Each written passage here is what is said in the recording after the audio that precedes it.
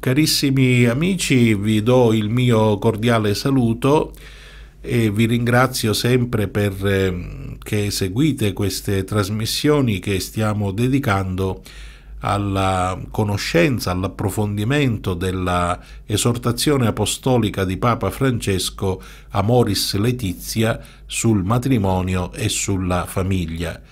Nelle prime due puntate abbiamo presentato così il quadro generale del documento di Papa Francesco e poi nella seconda puntata, quella precedente, abbiamo presentato il primo capitolo, quello nel quale il Papa si sofferma sul fondamento biblico del matrimonio e della famiglia, quindi getta uno sguardo eh, sulla Sacra Scrittura, sulla rivelazione biblica. Cominciamo a vedere in questa terza puntata, dico cominciamo a vedere perché dedicheremo eh, due puntate a questo tema, il secondo capitolo che è intitolato La realtà e le sfide delle famiglie.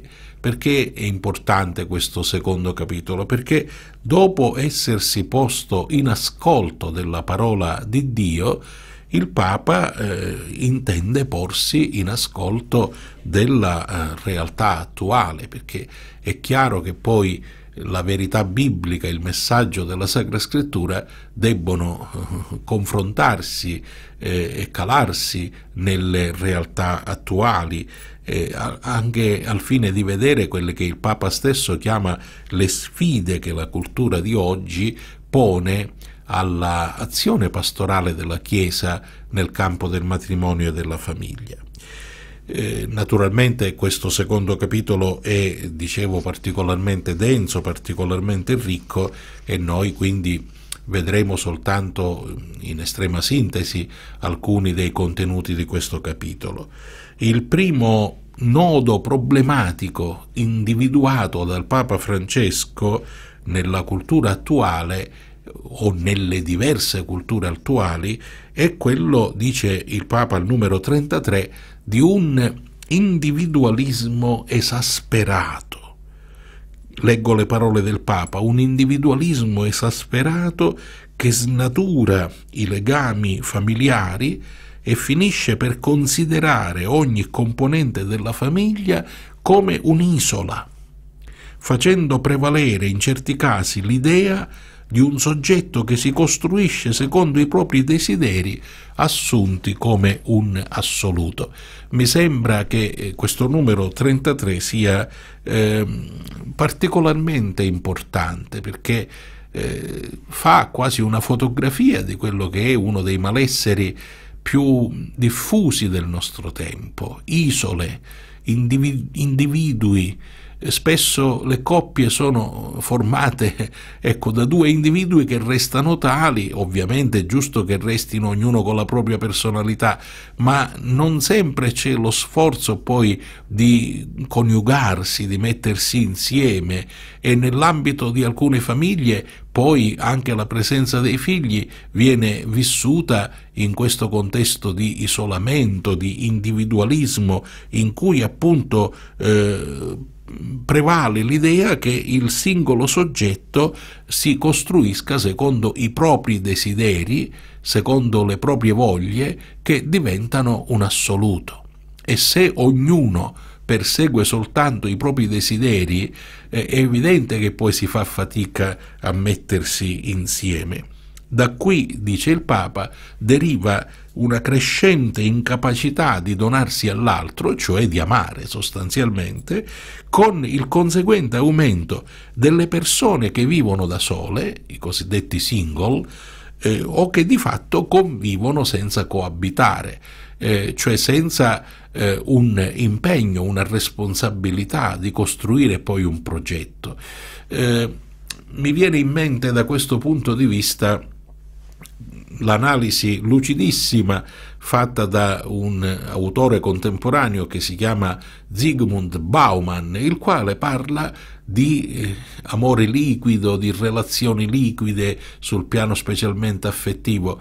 Eh, che significa che le relazioni affettive sono liquide? Significa che non sono solide eh, significa che sono relazioni eh, qualche volta perfino consumistiche, usa e getta, e, e il Papa lo scriverà anche in questo capitolo, per esempio eh, al numero 34 il Papa scrive che eh, eh, si interpretano le relazioni proprio così come eh, a volte si interpreta eh, la propria eh, cultura ambientale, ecco, al numero 39, scusate, Papa Francesco dice si trasferisce alle relazioni affettive quello che accade con gli oggetti e con l'ambiente tutto è scaricabile, tutto è scartabile, scusate, ciascuno usa e getta, spreca e rompe, sfrutta e spreme finché serve e poi addio.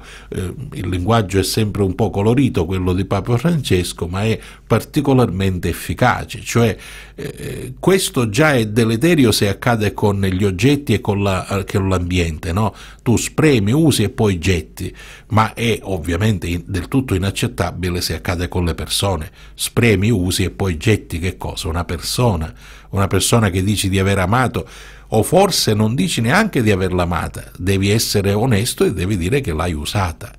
È evidente che quindi dall'esasperato individualismo che pervade la cultura contemporanea ne deriva una grossa incapacità di amare, cioè di donarsi all'altro, di costruire con l'altro un progetto. Amore liquido, dice Bauman, quindi amore non impegnativo e quindi sostanzialmente non amore perché la, l'amore richiede un impegno morale, una, una, volontà di costruire un progetto, un'assunzione di responsabilità.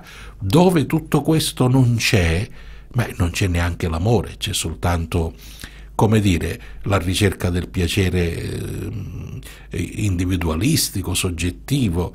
Eh, a parole si dice ti amo, ma in realtà si potrebbe dire mi amo usando te, ma io amo soltanto me stesso e forse, forse, forse neanche me stesso poi eh, a lungo andare spero così di essere riuscito a farvi comprendere eh, tutta la, la densità, la ricchezza di questo primo nodo problematico che il Papa ravvisa nella cultura di oggi e che è appunto questo esasperato individualismo che pone l'accento sulle eh, esaltazioni, per così dire, dei desideri individuali assunti come assoluto. Eh, su questa base, scrive il Papa, la famiglia può trasformarsi in un luogo di passaggio al quale ci si rivolge quando pare conveniente per sé o dove si va a reclamare diritti mentre i vincoli rimangono abbandonati alla precarietà volubile dei desideri e delle circostanze numero 34 della Moris Letizia. Quindi la famiglia come semplice luogo di passaggio, la famiglia pervasa dalla precarietà, la famiglia eh, nella quale si reclamano soltanto diritti e invece non si assolvono doveri o non si assumono doveri perché tutto è poggiato, scrive Papa Francesco, sulla realtà volubile dei desideri e delle circostanze. Anche questa mi sembra una fotografia eh, molto fedele di quello che accade nella nostra realtà di oggi. La famiglia di oggi perciò, e siamo al numero 39 di questo secondo capitolo, risente della cultura del provvisorio. E questo è un secondo punto mi sembra particolarmente ricco, la cultura del provvisorio per la quale, scrive Papa Francesco, le persone passano rapidamente da una relazione affettiva all'altra credendo, attenzione a queste parole de, del Papa, che l'amore, come nelle reti sociali, nei network, nei social network, no? si possa connettere o disconnettere a piacimento del consumatore e anche bloccare velocemente. Mi sembra che questa immagine ripresa dalla cultura del digitale, dalla diffusione dei social network, sia particolarmente, come dire, eh, suggestiva e impressionante nello stesso tempo così come tu connetti o disconnetti premendo un tasto eh, la tua relazione con gli altri, quale avviene nella chat, nel social network, così puoi connettere e disconnettere la tua relazione affettiva a tuo piacimento. Eh, sì, da questo punto di vista, ecco, praticamente la cultura del provvisorio non aiuta a costruire famiglie solide, famiglie stabili, famiglie eh, che siano veramente famiglie fondate su un eh, legame eh, unico, indissolubile, duraturo. È evidente che al fondo di queste concettualizzazioni, l'individualismo esasperato, la cultura del provvisorio e quindi la precarietà, a mio avviso c'è un concetto che va precisato. E qual è il concetto che va precisato? Eh, direi che in sintesi il concetto è questo. Oggi si pensa che la libertà individuale sia sganciata dalla verità. Cioè, mentre il Vangelo in Giovanni 8:32 ci dice la verità vi farà liberi, la verità vi farà liberi, la cultura contemporanea, pervasa dal provvisorio, dall'individualismo, eccetera, eh, ci sembra dire la libertà vi fa veri, ma la libertà intesa come spontaneismo, la libertà intesa come scelta individualistica, la libertà intesa come negazione di verità oggettive, di verità universali, di verità cioè vincolanti per tutti.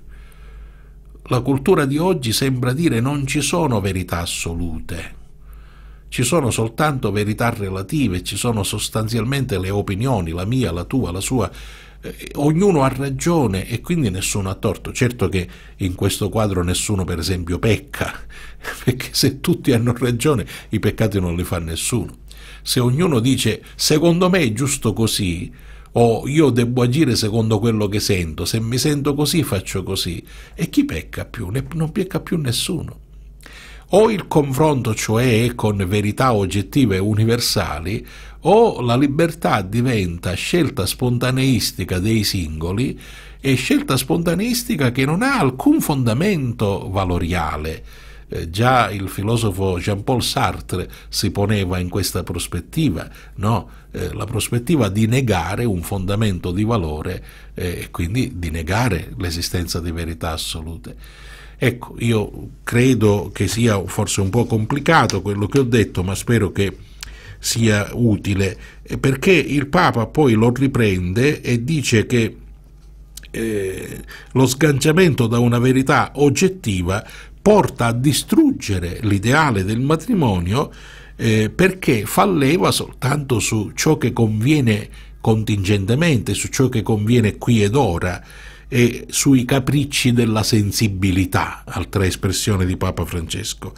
La conclusione è ovvia, dice il Papa al numero 34. Si teme la solitudine, si desidera uno spazio di protezione e di fedeltà, ma nello stesso tempo cresce il timore di essere catturati da una relazione che possa rimandare il soddisfacimento delle aspirazioni personali.